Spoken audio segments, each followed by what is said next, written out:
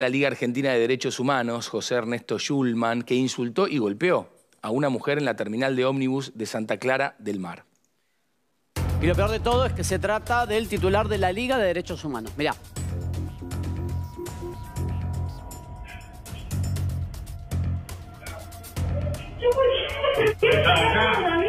Para que me digan no No, no, ¿sabes lo que le puedo hacer? ¿Qué puedes hacer? Denunciar a la doma en el campo. ¿Qué te digo? Boluda. La.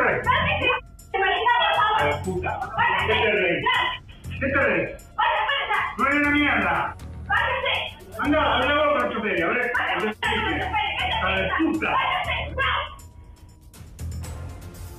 Por donde uno lo mire, deleznable.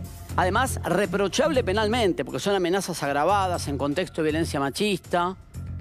Un imbécil, básicamente. Este titular de la Liga de Derechos Humanos. Dime de qué alardeas, te diré cómo soy en la vida real. Después agarró, hizo ¿Y un comunicado. En este caso... No, la este, cambié, obviamente. Es, es insólito realmente porque este, ocupa un cargo que dista mucho de su proceder, de su accionar. Después incluso este, pidió unas disculpas un poco extrañas, porque ahora lo vamos a leer, porque se excusa a partir de situaciones previas. Y no hay ninguna justificación para esto.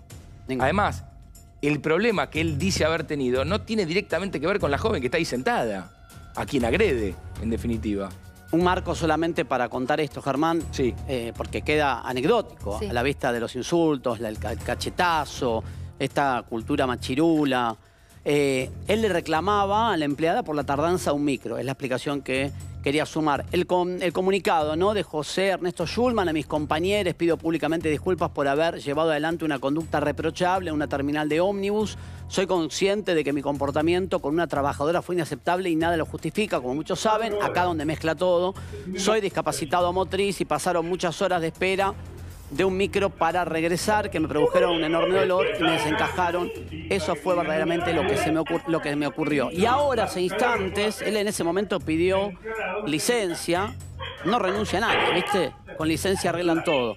Bueno, le aceptaron la licencia. Este, Una remera que dice algo de los derechos sí, la Liga de Derechos Humanos, ¿entendés? Del, de la propia, del propio... Yo siempre lo que pienso es si, este- si esta gente se comparta, se comporta así públicamente, ¿cómo son puertas para adentro? Olvidate. Pero además está a cargo de una Liga de Derechos Humanos. Más grave, imposible. Bueno, le aceptaron la licencia, insisto, nadie renuncia. No, me tomo unos días para pensar, me equivoqué. Un escándalo asqueroso por donde lo mires. Mira cómo le dices.